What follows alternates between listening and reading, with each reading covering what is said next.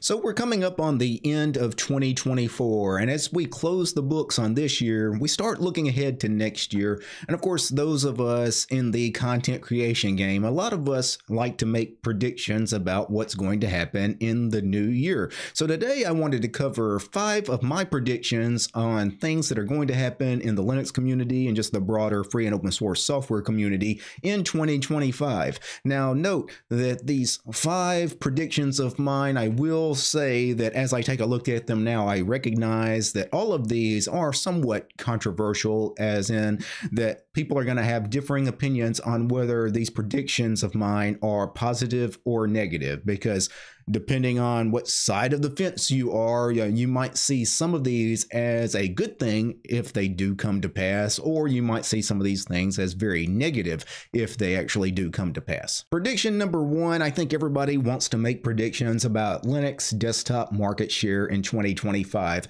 And obviously, the trend is we're growing. We know Linux desktop market share is exploding. We went from, you know, one to one and a half percent of desktop market market share when I first switched to Linux about 16, 17 years ago to now, you know, the numbers are estimated about, you know, 4%, maybe 5% of desktop market share is now using Linux. So that is a substantial increase, right? We've probably tripled our user base in the last 15 years. And, you know, a lot of that growth really came in just the last, say, two years or so. I think the rise of the Steam Deck really helped push us forward a little bit. And you know what? I'm going to make this bold prediction. This insane growth that we're seeing is going to continue in 2025. I see no signs of it stopping. Really, all signs point to go as far as people adopting Linux. Windows is not getting any better, right? It's getting worse as far as some of the shenanigans that go on with Microsoft and Windows. Apple, not everybody wants to be locked into that walled garden that is Mac OS. So I think Linux is just going to keep gaining market share. I could see us possibly getting all the way to the 10% mark by the end of 2025. That's not insane. I mean, all we would have to do is double our user base if we're already around 5%. We just have to double it in 2025. And we've essentially doubled it in the last year or two anyway. We've already kind of been on that pace. And if we get to that magical 10% number, well, now we're starting to rival what the Mac OS market share is. And I think that will be a real turning point with Linux going forward, should we hit that number. And again, I know not everybody sees Linux becoming more popular as a good thing, but for me, I think it's a positive. Prediction number two, again, another controversial one. Everybody's going to have a different reaction to this, but I think immutable distributions are going to become more and more prevalent. You're going to see a lot more immutable Linux desktop distributions, including some of the old guard, you know, some of the OG distros. You're going to see distros like Arch and uh, Debian, things like that. Ubuntu, of course, is kind of experimenting with this already. We're going to see a lot more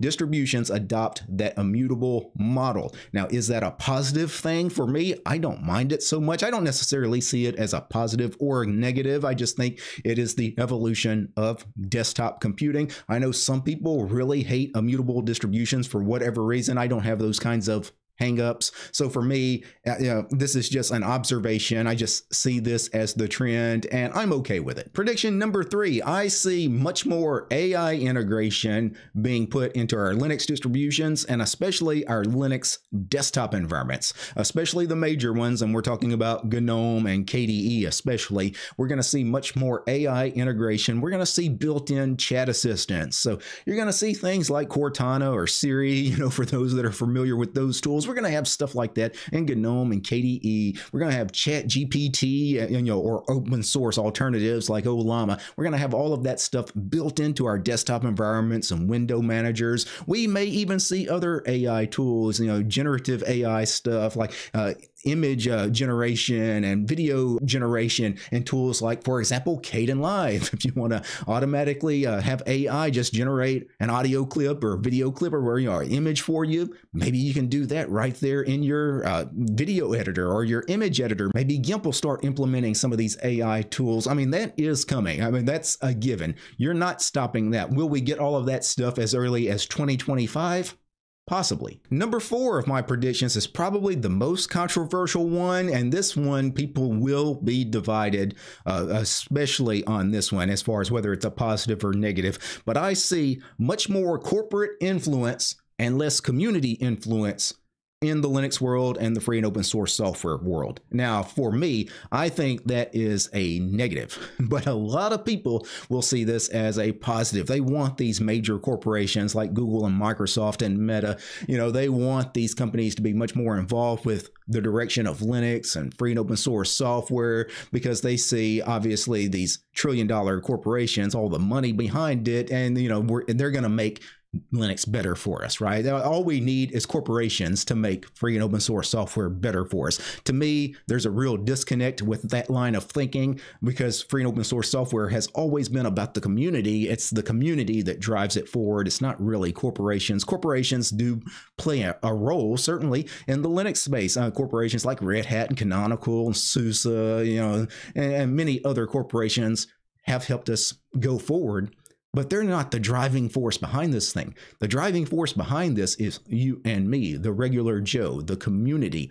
And for me, I see this growing corporate influence, especially by the big mega cap tech stocks like Microsoft and Google and Amazon and Meta and now Nvidia and all these companies. I see this as concerning. And number five of my predictions for 2025 is I think that the free software movement and the open source software movement will continue to gain supporters. And by supporters, I mean we already see a lot more people in the community that used to be staunchly anti free software, anti open source software. I love proprietary software. Proprietary software is the best. Open source software sucks, yada, yada, yada. We don't see that kind of negative reaction to free and open source software anymore. And that's going to continue the community is going to continue opening up to free and open source software, and especially corporations. Uh, again, all the big mega cap tech stocks, they all adopt open source stuff now, right? They're all on the open source bandwagon. We're going to continue to see this snowball grow. And I think that's great, right? I think that is a positive because I do think you know, when I talk about the negative corporate influence on free and open source software, I do think that we in the community can kind of keep them in check if we have a large enough community that supports the free and open source software ecosystem. So for me, I see this as a positive. And again, on all five of the points I made on this video, I know there will be some people that see things differently. Some of the things I thought were positive, you'll see as negative. Some of the things I see as negative, you'll see as positive. Which one of us is right? Who knows? But you know 2025 is, will be upon us here in just a couple of weeks and i guess we'll see. And in case i don't get a chance to tell you this before the holidays guys merry christmas and happy new year. Peace